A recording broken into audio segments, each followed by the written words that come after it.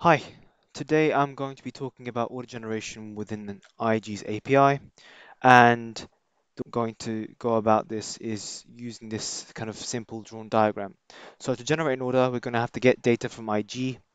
Uh, so that will be the data required for margin, um, the limits, stop losses, um, and controlled risk. And then we'll get that data back to our order management uh, class. And then once we've gone through the steps, we'll have a, an order generated from there. Yeah, so let's get started. So I've got this uh, little script I built. Um, it just simply goes through the functions that I've built and generates an order. So the order, this is the epic code. So epic codes are IG's way of uniquely identifying each instrument they have. So this is the epic code for their spread betting suit for Uh, for US Tech 100. So it's for this. Okay, just before we start, I just want to tell you a few caveats with this. So IG's order, so that they call them working orders. Now, these orders aren't like normal limit orders that you would find in equity trading. So if you're trading stocks, for example, not spread betting, uh, the if you were to create an order, a limit order, essentially what you are saying is I am placing an order at this price point. If the price enters through this price point, I want this order to be filled. If it doesn't, then leave my order as it is. And depending on the characteristics of your order, it will either stay there, cancel itself, or so on and so forth. But what IG has, they have entry orders. So what that means is certain characteristics are applied to them which aren't always clear. So for example, if you have an instrument and let's say its closing price for a previous day was 300 and the, the market hasn't opened yet and you place an, an entry order at 350 if the instrument then opens at 400 what IG will do is they will push your order all the way to 400 and open it at 400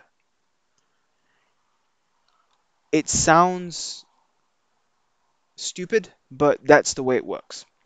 So it, it so these orders aren't actually orders that stay in their place. They will move. And it's not always clear to you or the IG employee or IG support if you do contact them what's going on because they're not too sure themselves as well. This has happened to me in the past, so that's why I'm, I'm letting you know.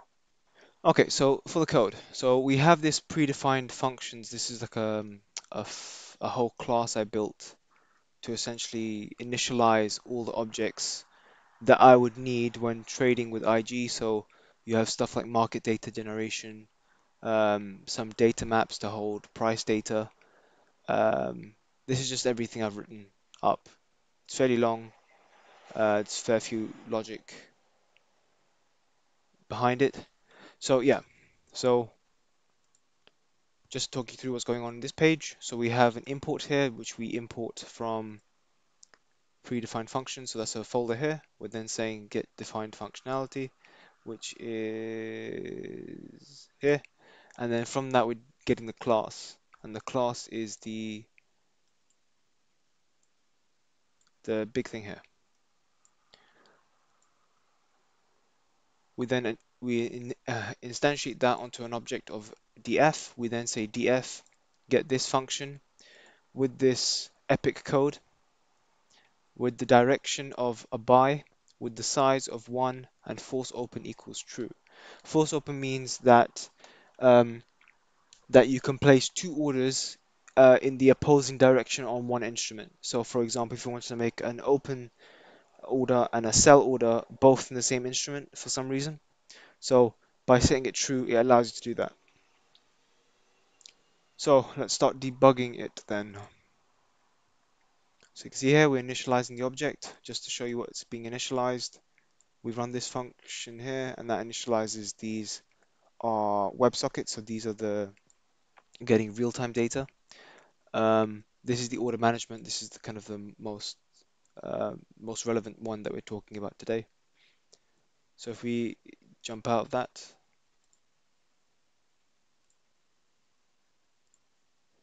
we come back here, and then now let's go into that.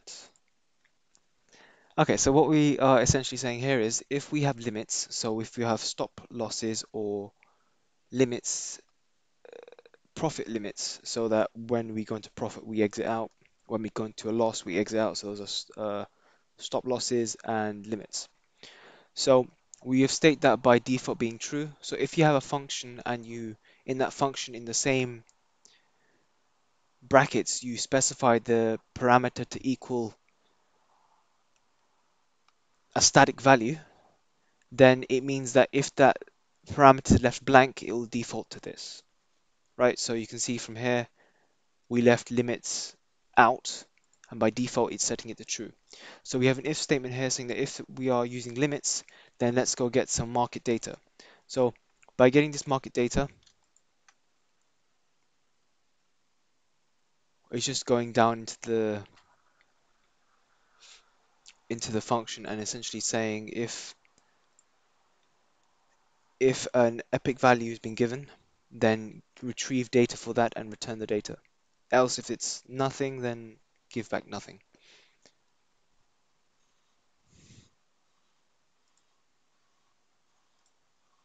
Yeah, so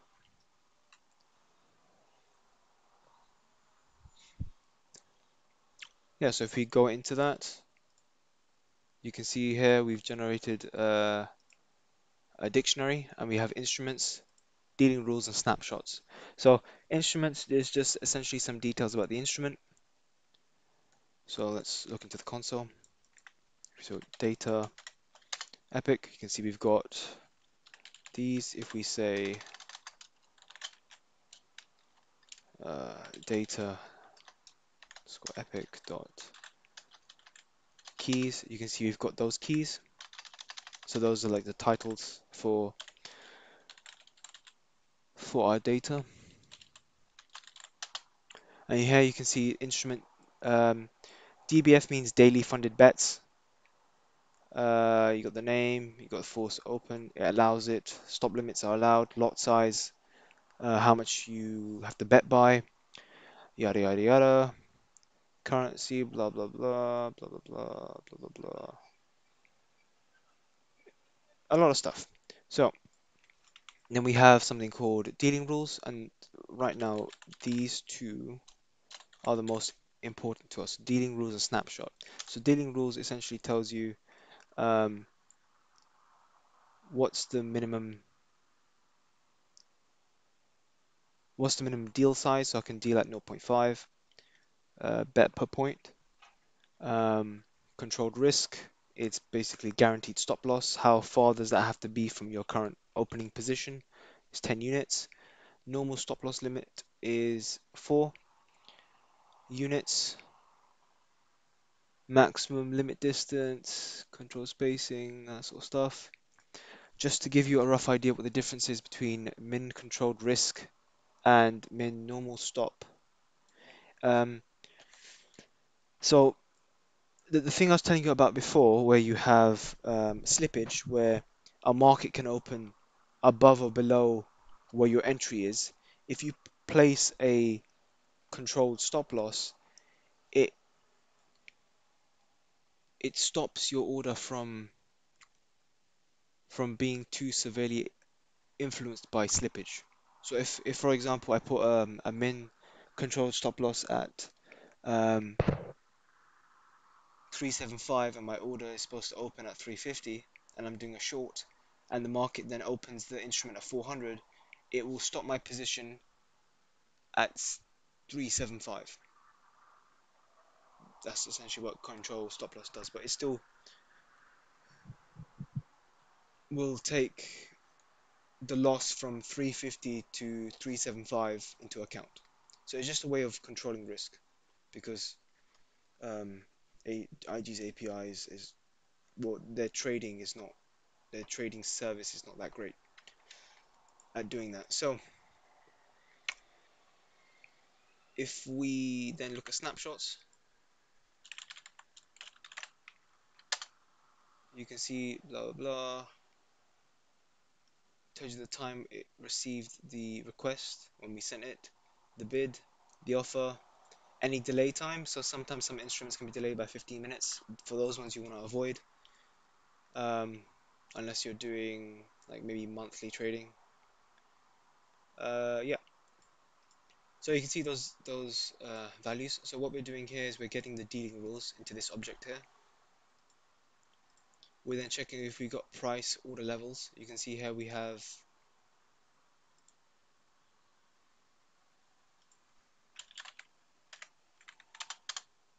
you can see by default it's nothing so and we've provided nothing so it will generate its own. So you can see those were the prices at the time. Now another thing to bear in mind is when you're making limit orders in in normal equity trading what you can do is you can place buy orders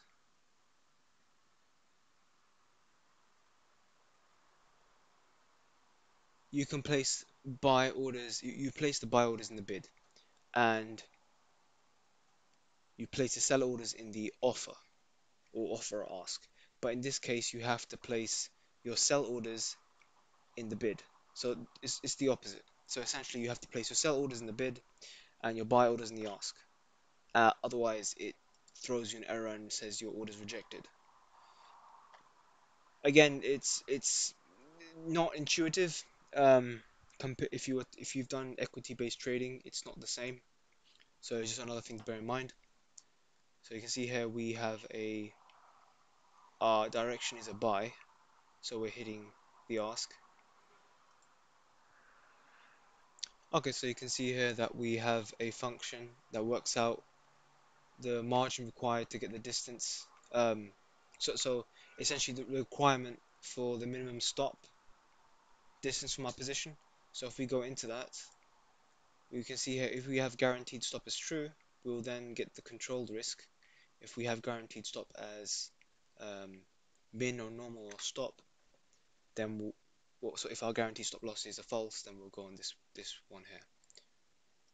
So you can see here we're getting that. That says our map unit is is so our units in points and our value is 10 so it's basically saying 10 units away now what you can sometimes get them in percentages so that's just to take care of that. Obviously divide by 100 times the price that tells you how much of a difference needs to be.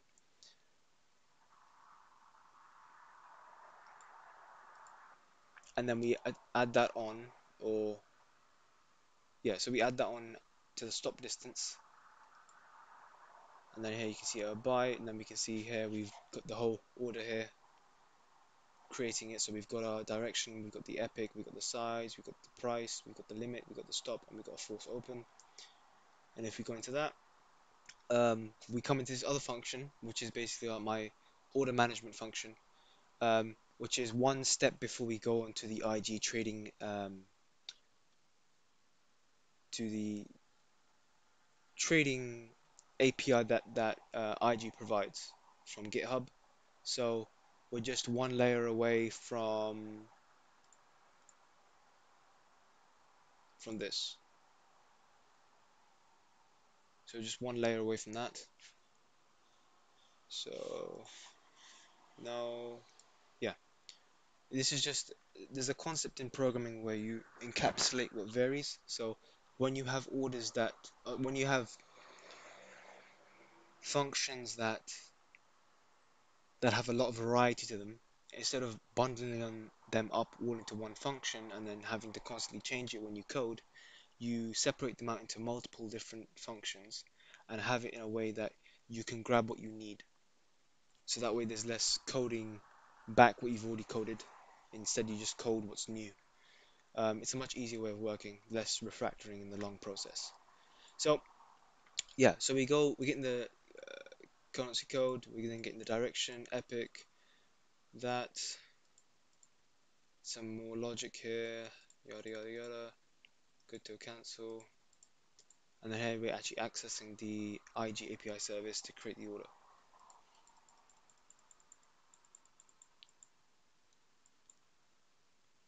And then here you can see it's working stuff, we're the rest for the IG API and uh, yeah we're creating the order setting the parameters. We have a bit more functions here. And then it sends it off as a request. And then if all goes well it will return us an object.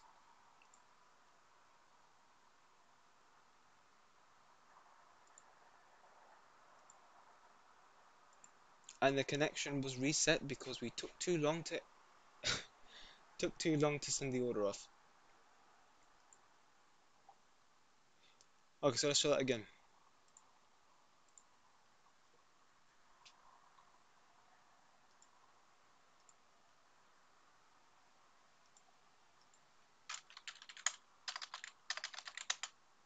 Okay, so so you can see the order has been sent off. Um, let's print this out. It might be easier to read if we print it.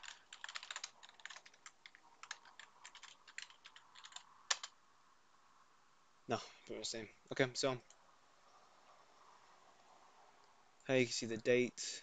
You can see the status is opened. Reason is successful, so that essentially shows us that our order has been put through.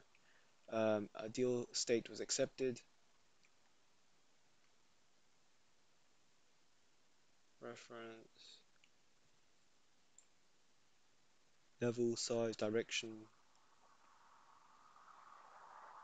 Our stop distance is 20 and our limit distance limit distance is nothing. Guaranteed stop is false. Um, yeah, so just to show you that it worked, you can see here that our order actually got filled, which is annoying. Okay, so let's close that. Uh, great. Okay, let's refresh this.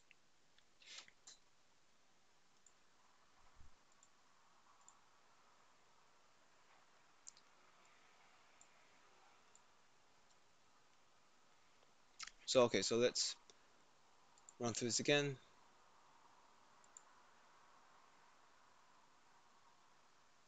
Damn it. Let me try that again. Okay, so order's open and then it keeps being filled. Annoyingly.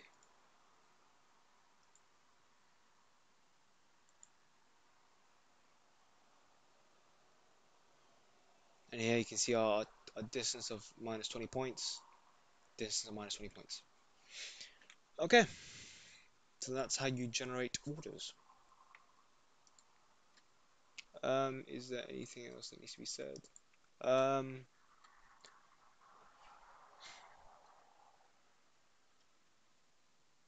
I think in, just to kind of overall round off, um, what you want to do is try and make lots of functions that have different varieties to them and make loads of if statements. So when you provide flags like force, open, true, there's logic in place to make this more dynamic um, instead of you having to go back and change different functionality because it this this working order stuff does have a, a tendency to become quite finicky because if your limit is different sized or or something else it, it can be a pain to try and debug and you waste a lot of time on that sort of thing.